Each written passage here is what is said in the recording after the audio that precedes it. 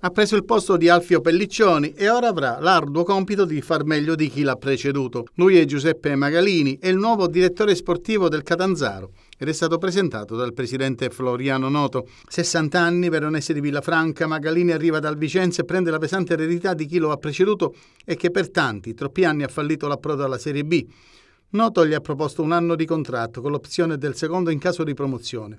Ecco le sue prime parole da dirigente giallorosso. Un compito, un compito, importante ma consci di sapere quante difficoltà ci possono essere ma fiduciosi di poterle superare. Sinceramente altre volte mi sono capitate queste, queste situazioni, sono cose da, da conviverci bene e venire in una piazza dove si può riportare un entusiasmo per poter arrivare dove tutti sperano sarebbe un grande orgoglio riuscirci per essere ricordato da quel punto di vista. Questa è, un'esperienza che, che, mi stimola, no? ma mi stimola perché io sono venuto al sud, però sono venuto come dicevo prima in una componente societaria con, con ambizioni, che questa è la cosa più importante.